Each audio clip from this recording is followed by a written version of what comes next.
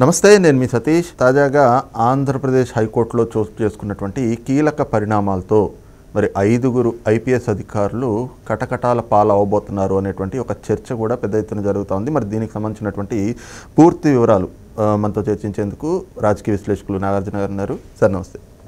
Sir ప్రధానంగా చూస్తే ఈ అరెస్టులు వాళ్ళు అరెస్ట్ అవుతారు వీళ్ళు అరెస్ట్ అవుతారు ఆ నాయకులను అరెస్ట్ చేస్తారు వీళ్ళని అరెస్ట్ చేస్తారు అంటూ ప్రభుత్వం ఏర్పడిన రోజు నుంచి కూడా కొన్ని ప్రచారాలు చూస్తున్నాం. అయితే వాస్తవానికి ఒకరిద్దరు కొంతమంది వరకు అరెస్ట్ అయిన పరిస్థితులు అయితే చూసాం కానీ మొన్న ఆంధ్రప్రదేశ్ హైకోర్టులో చోటు చేసుకున్నటువంటి ఒక కీలక పరిణామంతో ఒక ఐదుగురు ఐపీఎస్లు అరెస్ట్ కాబోతున్నారు అనేటువంటి ఒక చర్చ కూడా ముమ్మరంగా జరుగుతుంది. దానికి సంబంధించి పూర్తి సమాచారం ఏంటి? అదేనండి ఇప్పుడు మనం గతంలో కూడా మాట్లాడుకున్నట్టుగా రెండు వేల పంతొమ్మిది నుంచి రెండు వేల ఇరవై నాలుగు దాకా జగన్మోహన్ రెడ్డి గారు అన్ని రకాల యంత్రాంగాలని చెరబట్టి అది పోలీస్ వ్యవస్థ కావచ్చు రెవెన్యూ వ్యవస్థ కావచ్చు దాంట్లో పనిచేసే ఉద్యోగస్తులు కావచ్చు రాజకీయ నాయకులు కావచ్చు వీళ్ళనేమో లోబరుచుకోవటం ప్రతిపక్షాల మీద దాడి చేసి తప్పుడు కేసులు బనాయించి లోపలేయటం. ఇది మనం ఒక పరంపరగా చూసాం. దాంట్లో అచ్చెన్నాయుడు గారితో మొదలు పెడితే చంద్రబాబు నాయుడు గారి వరకు ఎవ్వరికీ మినహాయింపు లేకుండా ఏ రకమైనటువంటి ఆధారాలు లేనటువంటి కేసులు బుక్ చేసి వాళ్ళ ఇంటెన్షన్ ఏంటంటే కేసు ప్రూవ్ అయ్యి శిక్ష పట్టడం అనేది వాళ్ళ ఇంటెన్షన్ కాదు. కొన్నాళ్ళు జైల్లో పెట్టి హింసించటం.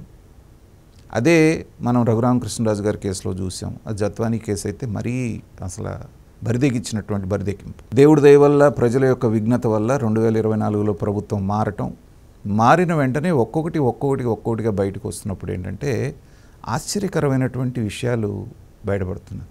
మొదటి నుంచి కరప్ట్ ఆఫీసర్స్ అయి ఉండి మొదటి నుంచి వీళ్ళ ట్రాక్ రికార్డ్ అలాగే ఉండుంటే సరే అంతకుముందు చేశారు జగన్మోహన్ రెడ్డి గారి పరిపాలనలో అది కొనసాగించారు అనేటువంటి మనం విషయం అనుకోవచ్చు. ఇప్పుడు మనం మాట్లాడుతున్నటువంటి ఆఫీసర్లో చాలామంది సీతారామాంజనేయులు కానివ్వండి సునీల్ కుమార్ కానివ్వండి లేకపోతే మిగతా వాళ్ళు కానివ్వండి చాలా విశాల్ గున్ని వీళ్ళందరూ కూడా ఏంటంటే చాలా కమిట్మెంట్ ఉన్నటువంటి ఆఫీసర్స్ చాలా స్ట్రిక్ట్ ఆఫీసర్స్ అని ఒక రెప్యుటేషన్ ఉంది వాళ్ళు అలాంటి వాళ్ళు ఇలాంటి పనులు చేశారంటే డైజెస్ట్ చేసుకోవడానికి కూడా కష్టంగా ఉంది. అంటే ఎంతగా జగన్మోహన్ రెడ్డి గారు వాళ్ళ మీద వాళ్ళని ఆకట్టుకున్నారు లేకపోతే లొంగ తీసుకున్నారు అనుకోవచ్చు అంటే ఆ జత్వానీ కేసే తీసుకోండి. అది వాళ్ళ డైలీ సీరియల్ లాగా సాగుతోంది. ఫస్ట్లో ఆవిడ మాత్రమే హెరాస్ చేశారనేటువంటిది బయటకు వచ్చింది ఆ తర్వాత కొన్నాళ్ళకి ఈవిడ సెల్ ఫోన్ అనేటువంటిది పాస్వర్డ్ చెప్పలేదంటే ఈవిడ బాయ్ ఫ్రెండ్ ఎక్కడో ఢిల్లీలో ఉన్నాడని చెప్పేసి అని అమిత్ సింగ్ అనే అతన్ని అతన్ని పట్టుకురావడానికి ఢిల్లీ వెళ్ళారంట. అతని మీద కేసు పెట్టి ఇక్కడేదో ప్రాసిక్యూషన్ కేసు పెట్టి ఢిల్లీ దాకా వెళ్ళి అది కూడా కేసు పెట్టక ముందు రోజు టికెట్లు బుక్ చేసుకొని సేమ్ అలాగే. ఆ ఎపిసోడ్ అయిపోయింది అనుకోగానే ఇప్పుడు ఎవరైతే ఎవరి పేరు నడితే అడ్డం పెట్టి అమ్మాయిని హెరాస్ చేసి ఆ కేసులు వాపస్ తీసుకోమని చెప్పారు జిందాల్ మీద స్వయంగా వాళ్ళే మేజిస్ట్రేట్ ముందు వాళ్ళు స్టేట్మెంట్ ఇవ్వడం జరిగింది. ఆ నాగేశ్వరరాజు అనే అతను భరత్ కుమార్ అన్న వాళ్ళ మామాళ్ళు అస్సలు మాకు ఈ అమ్మాయే తెలీదు. ఐదు ఎకరాలు మేము జగ్గయ్యపేటలో కొనాలని ఐదు లక్షల అడ్వాన్స్ ఇచ్చామనేటువంటిది మాకు సంబంధం లేని వ్యవహారం. కాబట్టి అనవసరంగా మమ్మల్ని దీంట్లోకి లాగుతున్నారు కాబట్టి మమ్మల్ని బయటేయండి వాళ్ళు ఇచ్చిన స్టేట్మెంటు ఈ ఆఫీసర్స్ ముగ్గురికి కూడా యమపాసంలాగా మెడకు చుట్టుకుంది. సో ఆల్రెడీ సస్పెండ్ అయి ఉన్నారు. శాఖాపరమైనటువంటి చర్యలు ఎంక్వైరీ జరుగుతున్నప్పటికీ కూడా ఏంటంటే ఈ స్టేట్మెంట్ ద్వారా కుట్రపూరితమైనటువంటి నేర ప్రవృత్తి కలిగినటువంటి దీని మీద క్రిమినల్ ప్రొసీడింగ్స్ వీళ్ళ మీద క్రిమినల్ కేసులు బుక్ అవ్వాలి. అలాగే రఘురామకృష్ణరాజు గారి కేసులో ఎవరైతే విజయపాల్ అనే అతను తప్పించుకొని తిరిగాడో చాలా రోజులు ఆయన బయటకు వచ్చిన తర్వాత పూసగుచ్చినట్టుగా ఏం జరిగిందనేటువంటిదంతా క్లియర్గా జరిగింది. అంటే వ్యవస్థలను ఎంతగా నాశనం చేశారంటానికి పోలీసు వ్యవస్థే కాకుండా కొట్టి కాళ్ళు కందిపోయి మనం ఫోటోల్లో చూసిన వాళ్ళకే మనకు అది కొట్టిన గాయాలని తెలుస్తుంటే ఒక హాస్పిటల్ సూపరింటెండెంట్ అయినటువంటి ఆవిడ ప్రభావతి అనే ఆవిడ అవి ఆ గాయాలు కదా ఆయనకేదో వేరే రోగం ఉందని చెప్పి సర్టిఫికేట్ ఇచ్చారంటే అంటే వీళ్ళ ధైర్యం ఏమనుకోవాలి చెప్పండి? అంటే ఎప్పటికీ జగన్మోహన్ రెడ్డి గారే చీఫ్ మినిస్టర్గా ఉంటారు ఒక ఇరవై పాతిక సంవత్సరాలు. మనందరం కూడా మనకు కావాల్సిన పదవులు అనుభవించవచ్చు అనేటువంటి భ్రాంతిలోకి వాళ్ళు వెళ్ళిపోయారు. ఇవాళ అవన్నీ బయటపడ్డ తర్వాత ఒక్కొక్కటి బయటకు వస్తున్న తర్వాత ఖచ్చితంగా మీరు అన్నట్టుగా ఈ ఐదుగురు ఐపీఎస్ ఆఫీసర్లో భవిష్యత్ అనేది మాత్రం ప్రశ్నార్థకంగా ఉంది. కాకపోతే ఇందాక మీరు అన్నట్టుగా ఏంటంటే నాలుగు నెలలైన త్వరితగతిన ఎందుకు అరెస్టులు జరగలేదు?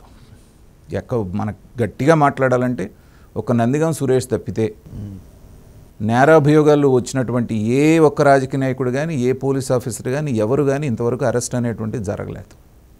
దానికి కారణం ఏంటంటే చంద్రబాబు నాయుడు గారికిను జగన్మోహన్ రెడ్డికి ఉన్నటువంటి తేడా అదే.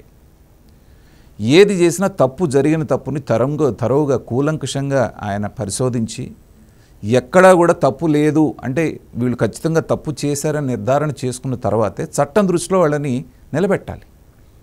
ఊరికేదో అరెస్ట్ చేసి నాలుగు రోజులు వాళ్ళు బెయిల్ తెచ్చుకొని మళ్ళీ జనం మర్చిపోవటం కాకుండా ఇంకొకటి తప్పు చేయాలంటే భయపడేటువంటి పరిస్థితుల్లో వీళ్ళకి పడేటువంటి శిక్ష అక్కడ ఉండాలి.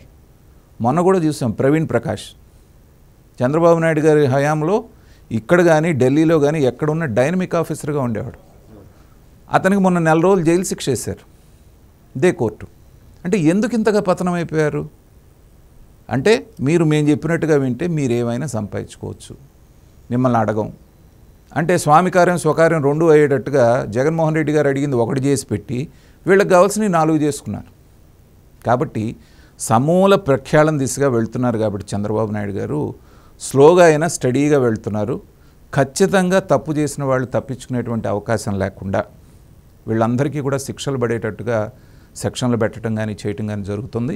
ప్రజానికం కూడా కోరుకుంటుంది ఏంటంటే జగన్మోహన్ రెడ్డి గారి సందర్భంలో జరిగినట్టుగా ఏదో మూడు రోజులు నాలుగు రోజులు పెట్టి వాళ్ళని టార్చర్ చేసి వదిలేయటం కాకుండా తప్పు చేసిన వాడికి సరైనటువంటి శిక్ష పడాలనేటువంటిది ప్రజానీకం అందరు కోరుకుంటున్నారు. ఆ దిశగానే ప్రభుత్వం ఖచ్చితంగా అడుగులు వేస్తోంది. నాలుగు రోజులు ఆలస్యంగా వచ్చే కానీ ఇవాళ చూసాం అందరూ పరిగెత్తున్నారు. ఎలా పరిగెత్తున్నారు?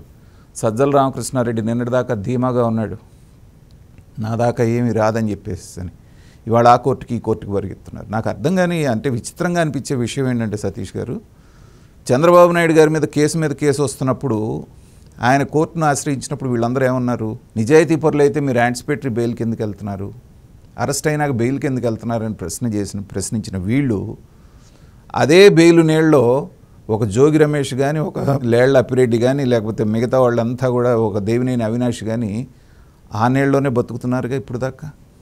అంటే వాళ్ళు చేసే సంసారం ఇంకోళ్ళు చేస్తేదో అన్నట్టుగా వాళ్ళ వ్యవహార శైలి అలా ఉంది. కాబట్టి పాపం పండింది. అన్ని రకాల ఇవే కాదండి. ఇంకా ఇలాంటివి నాకున్నటువంటి అనుభవంతో చెప్తున్నాను. ఇలాంటివి ఇంకా చాలా ఉన్నాయి.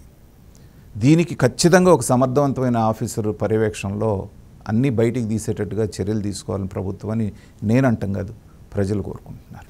Thank you